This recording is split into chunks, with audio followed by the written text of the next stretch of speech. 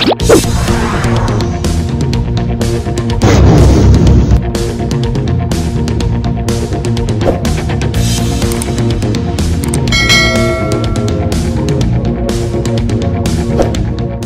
banget apalagi melibatkan anak-anak. Nanti segera kami proses. Dari sekolahnya apakah juga akan dilakukan penutupan atau gimana? tutup aja. Wali Kota Solo, Gibran Raka Buming Raka menyayangkan adanya perusakan makam di TPU Cemoro Kembar di Kampung Kenteng Kelurahan Mojo Kecamatan Pasar Kliwon. Apalagi kasus perusakan tersebut melibatkan anak-anak di salah satu rumah belajar di kawasan tersebut. Ini merupakan bentuk intoleransi. Ngawur sekali, apalagi melibatkan anak-anak, terang Gibran saat dikonfirmasi, Senin, tanggal 21 Juni tahun 2021.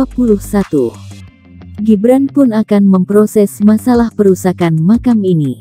Gibran akan menutup rumah belajar atau sekolah tersebut, karena sudah benar baik sekolah atau guru-gurunya. Tutup saja sekolah.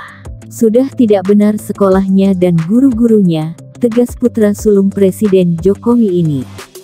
Mereka itu buka sekolah tidak izin dan segera diproses. Ini tidak bisa dibiarkan, apalagi berkaitan dengan pendidikan anak-anak kecil. Mereka buka sekolahnya kan tidak izin, ini tidak bisa dibiarkan. Segera mungkin akan diproses, ungkapnya. Nanti yang akan diproses hukum guru atau pengasuhnya. Kalau untuk anak-anaknya akan dilakukan pembinaan, karena mereka masih berada di bawah umur. Ini sudah kurang aja sekali. Yang diproses hukum pengasuhnya, termasuk anak di bawah umur harus ada pembinaan, paparnya. Seperti diketahui jika sebanyak 12 anak di bawah umur diduga telah melakukan perusakan makam di TPU Cemoro Kembar di Kampung Kenteng, Kelurahan Mojo, Pasar Kliwon. Informasinya perusakan tersebut dilakukan pada tanggal 16 Juni tahun 2021 lalu pukul 15 waktu Indonesia Barat. Anak-anak tersebut merupakan murid dari rumah belajar atau sekolah. Wali Kota Solo Gibran Raka Buming Raka pun langsung meninjau lokasi makam dan bertemu dengan keluarga korban, Senin tanggal 21 Juni tahun 2021 siang, suara.com jadi bagaimana menurut Anda sehat terus Mas Gibran?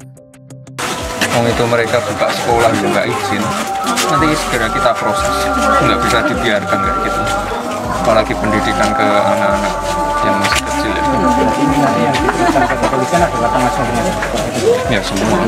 Termasuk anak-anak yang di bawah umur itu ya. Pakai pembinaan. Ini apakah udah kurang ajar sekali. Apa bentuk dari intoleransi atau seperti apa? iya. Udah ngawur banget. Apalagi melibatkan anak-anak. Nanti segera kami proses. Dari sekolahnya apakah juga akan dilakukan penutupan atau ya, gimana? tutup aja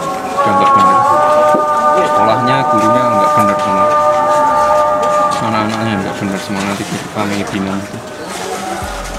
Bon, ayo. Ini makamnya siapa pak? istri saya. Ini ada tulisannya kan.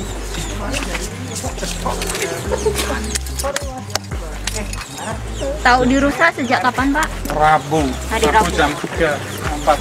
Ini ibu saya.